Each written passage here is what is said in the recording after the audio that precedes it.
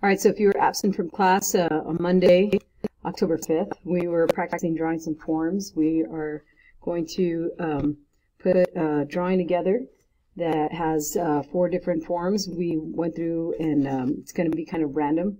So we started off with um, drawing a sphere in the center of our page. So you can go ahead and draw a sphere in the center of your page. You're going to do that by drawing a circle. Um, again, our drawings are going to be similar, but probably a little different. Um, this is going to be a snowball. Um, that was one of the things that we were going to draw. So just draw yourself a sphere as best as you can put it about the center of your page. And then on this side, we're going to have a cylinder that we're going to turn into a trash can. So let's start off drawing an ellipse like this.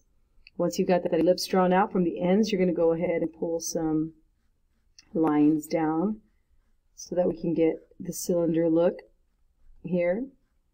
And then the bottom of um, the trash can is um, rounded off.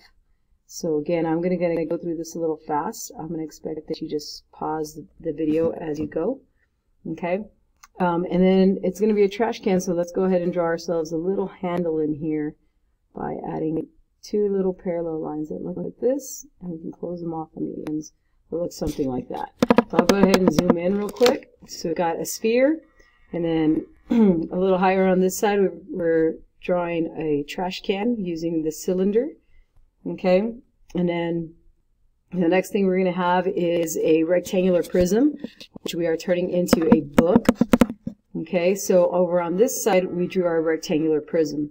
So over on this side, go ahead, and it's a little below where this, the start of that is. We're going to go ahead and start off with a rectangle. And the book is just kind of like facing, standing up. So we're going to have some vertical lines going this way. We're not going to touch the bottom. It's going to look like this. And you should have yourself a nice, and I'll zoom into that, rectangle. It looks like that. Okay. in order to turn this rectangle into a rectangular prism, we're going to have to get to the third dimension. So we're going to go ahead and use a diagonal line here. So this is going to slant back like that. And we're going to do the same kind of slanted line here. So both of these are parallel to each other. They're running the same direction. You want to make sure that you put these in there running in the same direction. And you'll have one more over on this side. And all of these lines are parallel to each other. And then what we'll do is we'll connect this line, horizontal line, horizontal line. This back line is also going to be a horizontal line. And then for the spine of the book, we'll have a vertical line that is parallel to this one here. So this will look like this and we've pretty much gotten all the shapes down that will make a rectangular prism and we will turn this into a book in a little bit. Uh, next thing I'm going to ask you to do, and I'm going to go ahead and zoom into it so you can see it fairly well, you're going to make a thin line that is going to be right below this line here. It's going to run right next to it, but leave a little space.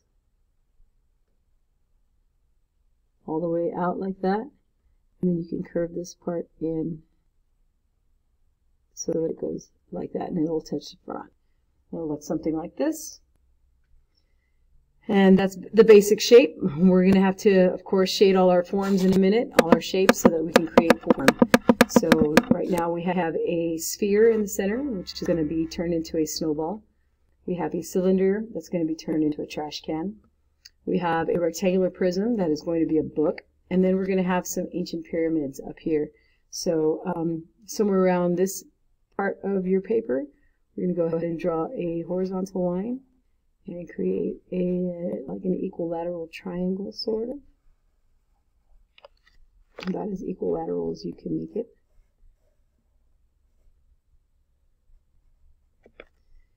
And then on this end, we'll go ahead and pull out a diagonal line so we can get that third dimension and we will connect it with another diagonal line that attaches for that back end.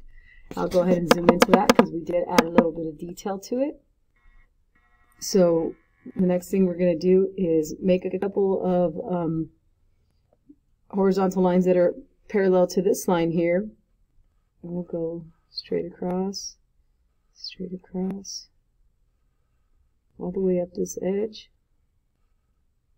Let's try to space it as evenly as possible. Of course, we are eyeballing this. And then on this side, the same line that's here is going to continue, but it's going to be slanted just parallel to that one. So it should look like this.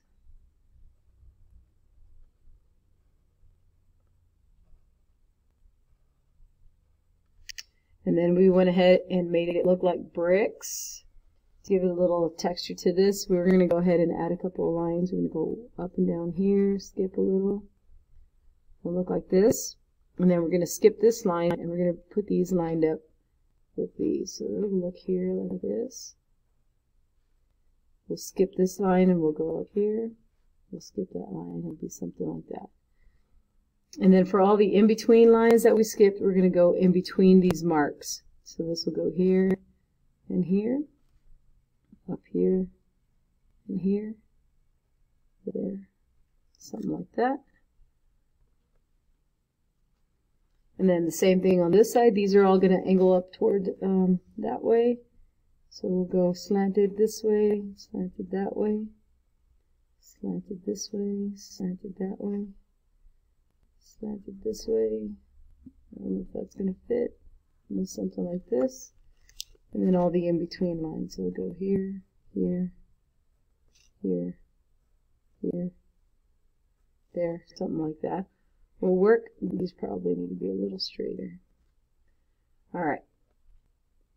So now we got a little bit of detail on these, and we're going to start um, shading these up so that they are they look like forms. So your paper should look something like this. You've got a circle that we're going to turn into a sphere. A uh, cylinder is going to be a trash can. Rectangular prism is going to be a book. And the pyramid. So our light source is going to come from here. I would first off make sure um, it's a snowball, so it's going to be white. So we're going to go ahead and lighten up this line on this side since it is um, side of the light. Okay, I'm actually going to my lines are a little dark, so I'm going to kind of lighten it up all. And I'm going to start coming in here with a little bit of text of uh, value. I'm going to lay my pencil down. I'm going to start with um, kind of getting like a, a crescent moon shape of shading that's going to come from the edge. And I may have gone just a little too dark, but I'm going to go from thin to thick and back to thin. So if you see my shaded line, it starts thin on the line, and kind of comes off, and it's a little thicker, and then it goes back to thin. This part that's left, this white part, should still look like a circle, okay? Should never have sharp edges. And then we're just going to make another circle kind of coming in, a little lighter than what we had. And this is also going to circle in. Our light source again is coming from this top side. My lines are not coming out very good. My shading. I'm going to make it work. So once I have that, I'm going to stop adding lead on here. And I'm just going to rub this in with my finger. I'm just going to go right on the line and take it into the circle. This is a snowball. So snowballs aren't going to be too dark. And then we're just going to blend this and we want to go in a circle. So you want to keep curving as you blend. And I thought so I went a little too dark on this edge. But I'm going to leave it. And so we kind of have like a little sphere or something like that. Now if this were a snowball it definitely would not have like the straightest edges ever so I'm going to clean up the outside really quick and then I'm going to just kind of add some little erase marks inside of here to kind of make it maybe not so perfect as far as the texture on here. So I'm going to just with my eraser I'm going to come in here and kind of get some circles in here and you can see I'm kind of making a couple of few little dots. I'm just kind of trying to get a little texture to to this snowball because it would just be pressed ice together. I'm just going to kind of come in here. Like I said, I'm just kind of making a couple little circles in here. Maybe it can look like indentions later. To create a little shadow of the pressed ice. And this is a little dark, so I'm going to go ahead and erase a little on here. And then I'll just go ahead and smooth over it again to kind of blend in these circles so you don't see that so much. They don't look so perfect, those little circles. Now I can kind of get me a little texture on that. And of course, it's gonna um, just want to work it until you feel a little comfortable with what you have. So I can see some parts here that look a little awkward. I'm just going to add some little erase marks to kind of get some of these harder lines out. I'm just trying to create a little texture on here, and then I'll just rub with my finger. And like I said, we'll go ahead and work this a little bit more as we go. But for the most part, we'll try to make that look like a snowball a little later in our drawing. So we've got, um, you can see, we'll zoom into it a little bit. I'm going to zoom into the trash can now and we're going to go ahead and add a little bit of texture to this or some value to this. So I'm going to start on this corner here. We're going to bring in some curved lines from this corner.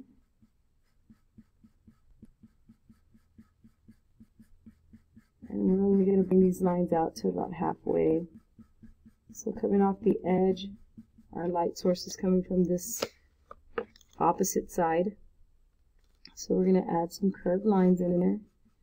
Once we got the curved lines, I'm going to go ahead and start shading the whole thing from light to dark. So I'm going to lighten up this line here. I can still see where it goes. And I'm going to lightly shade this side.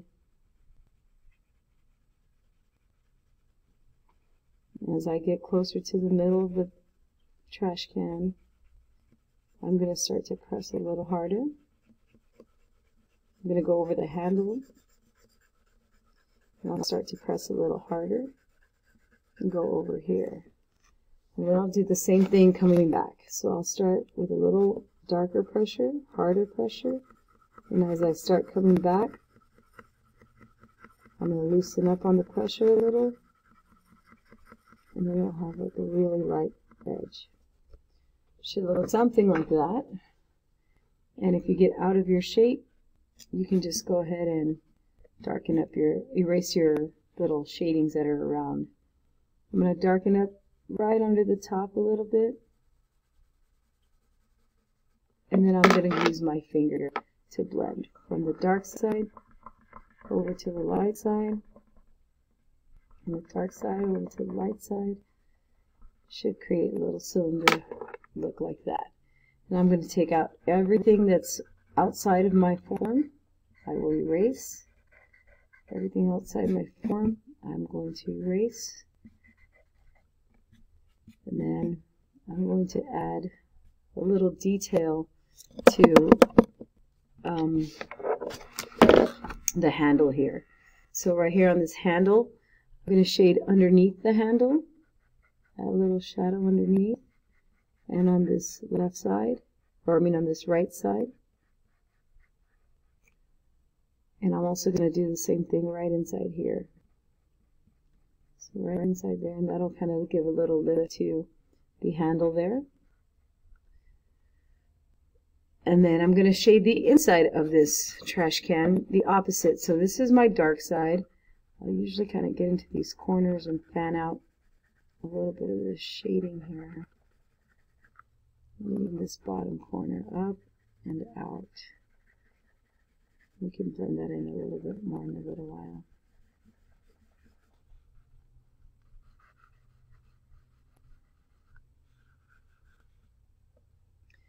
All right, so um, once we've got that on here, we're going to go opposite. So I'm going to leave a little bit of a lip here at the top. And we're going to shade it, make a nice little line, create a C. And this will touch the bottom, nice and dark doesn't touch the top line. And then you just fill this in with some lines coming across like this. Still have a C shape in there. And that's that for right